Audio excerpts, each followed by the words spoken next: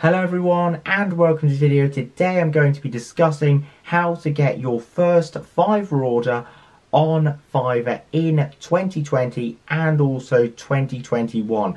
So firstly, you want to make sure you have seven gigs up. So that is now seven opportunities to get your first Fiverr order. So many people start Fiverr and only have one or two gigs up. So make sure you have seven gigs up and also make sure you can do those to the best of your ability and you can actually deliver high quality work. Now the second one is to start all of your gigs at $5. Now so many people have a higher price and no reviews. No one is going to choose this and even if they do it's very low. So what you want to do is have a low starting price, the lowest at $5 then you've got a higher chance of actually getting that person to see your gig and not only just see it, but actually purchase and order from you.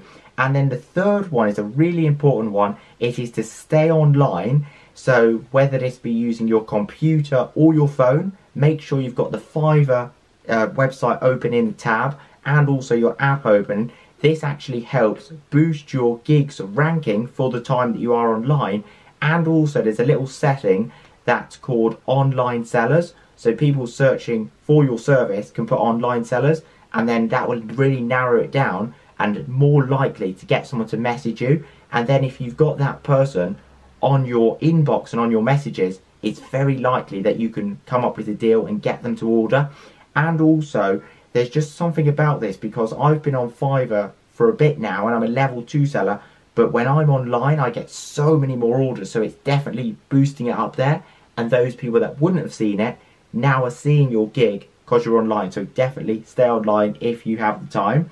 Now the fourth way is to share your gig on all social media. So a lot of people think, oh, it's only Fiverr and they've got to wait for that first Fiverr order. But in the meantime, you can actually promote your Fiverr gigs and get people to come onto Fiverr, order your Fiverr gig. And the great thing there is you're making money now from Fiverr and hopefully you get your five star review on your Fiverr gig and then that will boost your gig on the Fiverr website and now you'll be getting Fiverr orders from Fiverr. But what you could do first is to give it that boost do a lot of your own self promotion as well. So local businesses people you know you can help with that service message them on Facebook Instagram and Twitter and get them to come across to your Fiverr gig and your Fiverr gig page the fifth and final way is to post in Facebook groups and other forums and websites related to your service. Make sure you have permission